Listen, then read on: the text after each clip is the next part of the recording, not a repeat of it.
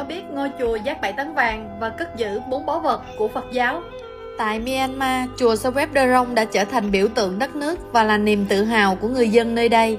Chùa được mệnh danh là kho báu của nghệ thuật phương Đông và là một trong những ngôi chùa nổi tiếng nhất thế giới. Chùa Sawep Darong bao gồm 10.000 tháp nhỏ được dát vàng xung quanh tòa tháp chính. Thân tháp chính được dát bằng vàng rồng. Đỉnh tháp nạm 664 viên hồng ngọc 551 viên ngọc lục bảo và 443 viên kim cương, trong đó viên nặng nhất là 76 carat. Tổng khối lượng vàng ở chùa Saweb Darong là khoảng 7 tấn. Ngôi chùa này được xây dựng vào năm 588 trước công nguyên. Vào thời điểm mới xây dựng thì tòa tháp chính chỉ cao 20 mét. Sau nhiều lần sửa chữa, đến nay tòa tháp chính đã cao lên tới 112 mét.